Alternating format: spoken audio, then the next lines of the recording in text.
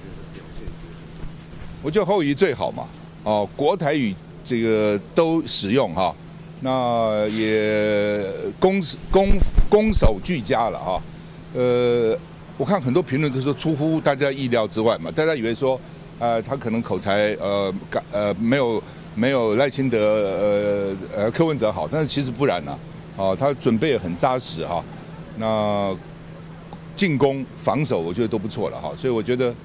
我也觉得与有荣焉哈，作为他的副手也与有荣焉。我想请问一下，就是中共啊，有说终止部分的 X 法检，知道？那民进党说这是中共介入选举，你觉得？哎，我觉得哦，中共哦，不要在选前啊搞这个，真的不好哦。那当然，另外就是对台湾，因为影响最大的就是机械业、化工业跟纺织业。那他先从化工业下手哈，对于化工业的。工厂啊，呃，当然有影响啊，但是对劳工影响特别大，啊，因为一些年轻人哈，将来要找工作，你比如化工，可能就找不到了哈，影响就蛮大的。我是觉得，啊，希望北京了哈，不要一直在选钱哈，你这个难免让人家想说你到底要干嘛哈，我觉得不好哦，因为我我也反对哈，我也要抗议的哈。不过呃，民进党不谈也是真的哈，好像都没招嘛，你总要去沟通，总要去谈呐。哦，那民进党现在提出来是说在 WTO 之下谈，其实，在 WTO 之下对我们是不利的，因为你送到 WTO，你你是两千五百零九项产品不准人家进来嘛，这是一个事实啊。